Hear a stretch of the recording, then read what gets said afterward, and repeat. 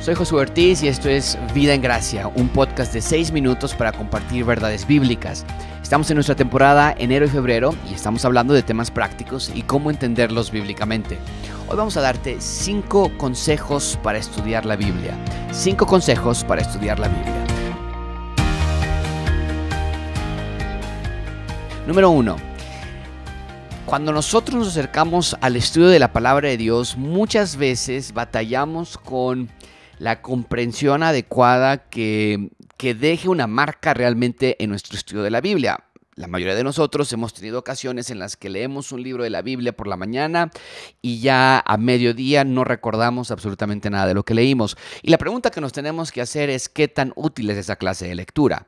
No estoy diciendo que nos sirva para nada, me imagino que en el momento que la leímos nos sentimos bien, satisfechos, tal vez comprometidos con esa, con esa costumbre de leer la Biblia todos los días, pero a largo plazo, ¿qué clase de beneficio te trae eso? Ninguno o muy poco.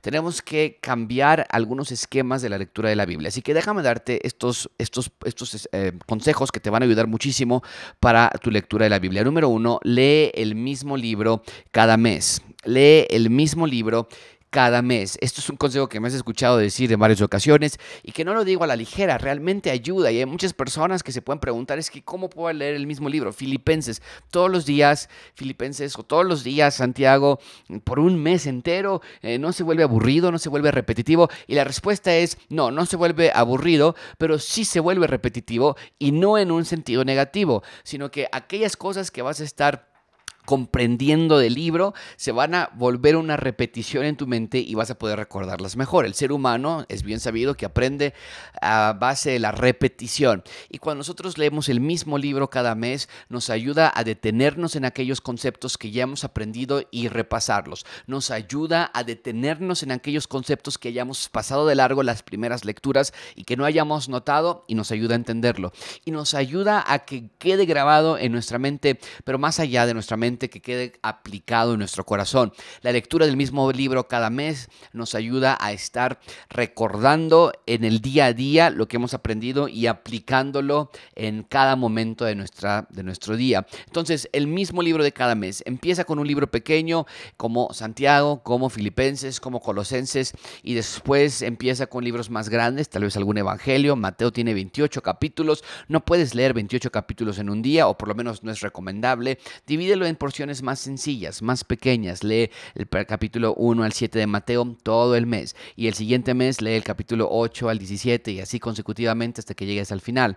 Eh, eh, la repetición es lo que te va a estar ayudando muchísimo. Si lees el libro de Salmos, haz lo mismo, lee 8, 7 salmos, dependiendo de la, de la, de la, de la duración de la lectura, de, la, de, la, de qué tan largo sea el capítulo, lee 8, 10 salmos cada día, los mismos 10 salmos por un mes y de así te vas continuamente a los siguientes textos. Número dos, el segundo consejo que te quiero dar para la lectura de la palabra es toma notas de lo que te gusta. Escribe tres cosas que te hayan gustado, tres conceptos que hayas aprendido, tres maneras en las que viste al rey, a su reino, a los ciudadanos de su reino, tres aspectos de los atributos de Dios, tres áreas en las que tienes que confesar tus pecados, tres áreas en las que tienes que practicar tu oración a través de la lectura que estás leyendo. En fin, busca tres cosas lo que sea, atributos de Dios, confesión de pecados, acciones de agradecimiento, áreas en las que tú puedes aplicar esa verdad en tu, vida, en tu vida. Escribe tres cosas en un cuaderno y así hazlo diariamente.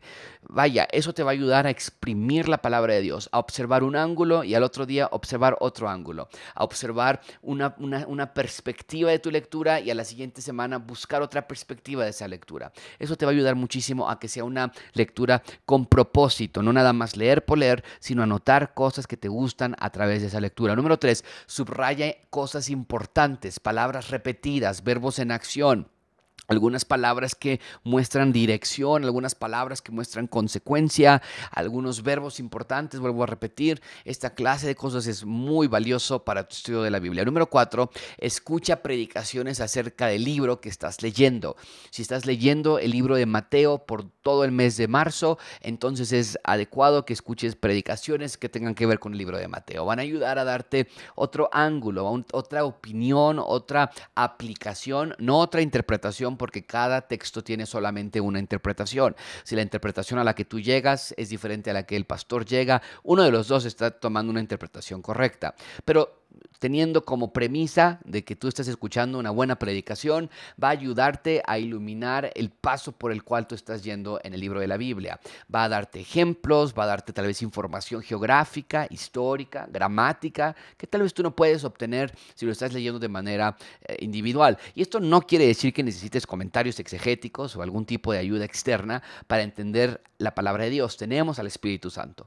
Pero también es cierto que las herramientas que de estos estudiosos, teólogos, comentarios, nos ayudan en esta búsqueda de entender un texto. Y esto lo hacen los pastores o los pastores que predican la palabra de Dios correctamente. Lo hacen así y va a ser de mucha ayuda que escuches esta clase de estudios que lo dan de una manera fácil de entender. Y número cinco, conéctalo con el resto de la narrativa bíblica. Es algo que a mí siempre me parece muy importante. Si aíslas el texto y nada más te quedas en una sola porción, te vas a quedar muy corto de lo que nos está contando toda la narrativa.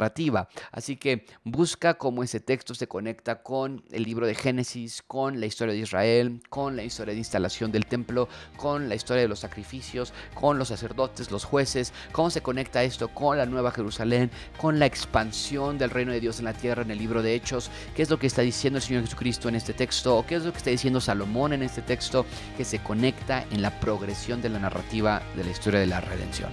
Así que seis consejos breves, cinco consejos, perdón, breves que te van a ayudar muchísimo a estudiar la Biblia de una manera práctica y que sea útil para tu vida.